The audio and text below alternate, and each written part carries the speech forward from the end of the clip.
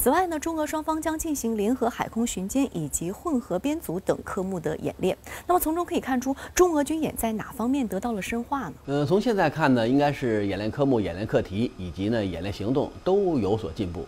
呃，联合海空巡歼作战是一种无缝链接的作战行动，那么要求各方要独立发现目标。独立拦截目标，而且要进行联合的混合编组。如果双方的雷达系统、通讯系统不能够融合，那么无法完成大范围内的联合海空巡歼作战。那么“巡歼”这个词，顾名思义，就是在大的空间内可能有对方的蛛丝马迹。如果没有联合预警、联合指挥、联合行动，就不会有联合的效果。